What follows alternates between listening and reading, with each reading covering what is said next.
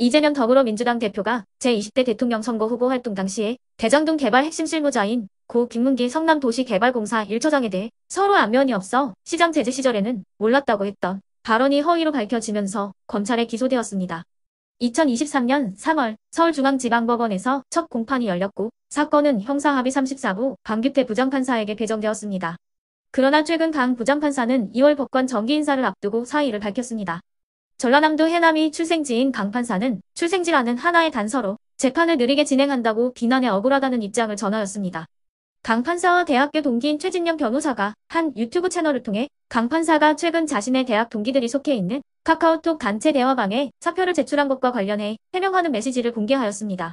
어제 주요 일간지에 나온 대로 2월 19일 자로 명예퇴직을 합니다. 일반적인 판사들 퇴직 시점 조금 넘겼지만 변호사로 사무실을 차려 새로운 삶을 살아보려고 합니다. 상경한 지 30년이 넘었고 지난 정권에 납부한 종부세가 얼만데 결론을 단정짓고 출생지라는 하나의 단서로 사건 진행을 억지로 느리게 한다고 비난을 하니 참 답답합니다. 내가 조선시대 사또도 아니고 증인이 50명 이상의 사건을 어떻게 하라는 것인지 하여간 이제는 자유를 얻었으니 자주 연락할 기회가 있지 않을까 싶습니다. 다들 새 건강하고 복 많이 받으세요. 이에 네티즌들은 판사 입장에서 무리하게 증거도 없이 판결하려니까 깨림칙했는데 이번 암살에서도 살아 돌아오는 것을 보면 솔직히 무서웠을 것이다. 판사가 사표를 낼 정도면 압력이 상상 그 이상이었나 보다. 진정한 법조인이십니다. 법과 양심에 따라 재판할 수 없는 현실이 슬픔입니다. 등의 의견을 보였습니다. 그러면 지금부터 잠시만 주목해 주시기 바랍니다. 제가 구독자분들을 위해서 이벤트 선물을 하나 준비했는데요. 제가 항상 여러분들께 뭐라고 말씀을 드려요. 뉴스만 평소에 잘 챙겨보셔도 돈이 된다, 돈을 벌 수 있다라고 말씀을 드렸는데요.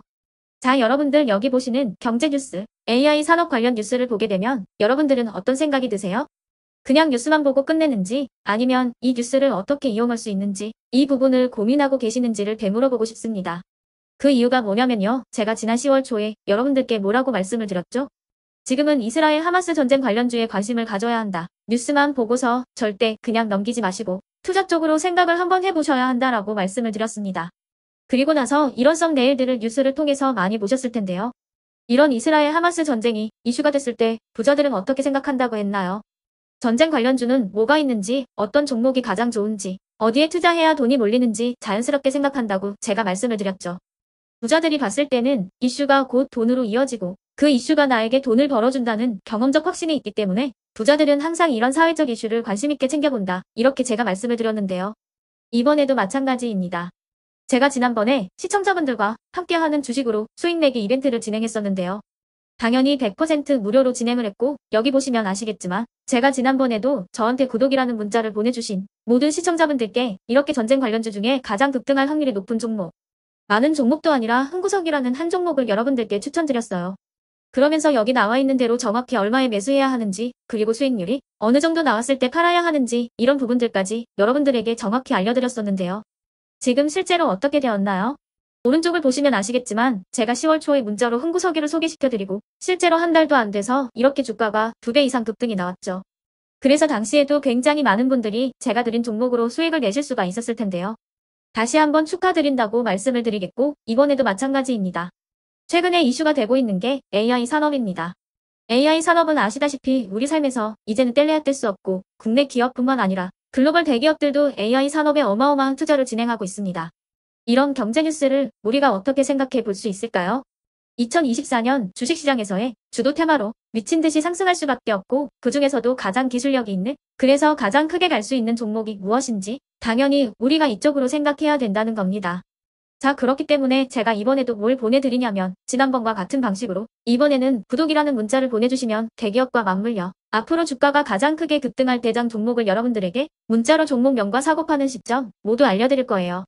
그래서 여러분들이 주식으로 돈 버는 연습을 해보시라 이렇게 말씀을 드리겠고 혹시라도 나는 주식을 하지 않는다 하시는 분들은 주변에 주식하시는 분들에게 추천을 해주셔도 되고 아니면 연세가 있으셔서 투자가 어렵다 하시는 분들은 이 종목을 가지고 자녀분들에게 한번 사봐라 주식으로 한번 수익을 내봐라 이렇게 조언을 해주실 수도 있는 거겠죠. 그래서 지금 이 영상을 보시는 시청자분들 중에 나도 이번 AI 종목 좀 궁금하다 하시는 분들은 누구나 상관없이 어느 시간대나 상관없이 부담없이 이렇게 상단에 제 번호를 항상 남겨놓고 있습니다. 제 번호 010-8109-2058번으로 저에게 이런 식으로 지난번처럼 구독이라는 문자를 보내주시면 제가 이번에도 아무 대가 없이 무료로 주식 종목 문자를 보내드리겠습니다. 이해되시죠? 0108109-2058번으로 구독이라고 문자를 보내주시면 여러분들이 직접 이슈를 통해서 돈 버는 연습을 해보실 수가 있는 거고 제가 돈을 받는 것도 아니고 투자를 대신해 드리는 것도 아니니까 부담 없이 신청해 주시면 되는 겁니다. 그리고 수익이 나면 저는 다른 것은 바라지 않습니다. 제 채널에 구독, 좋아요 하나만 눌러주시라 이렇게 말씀을 드리겠습니다. 그럼 영상 마무리하면서 구독자 여러분들께 늘 행운이 깃들길 기원하겠습니다.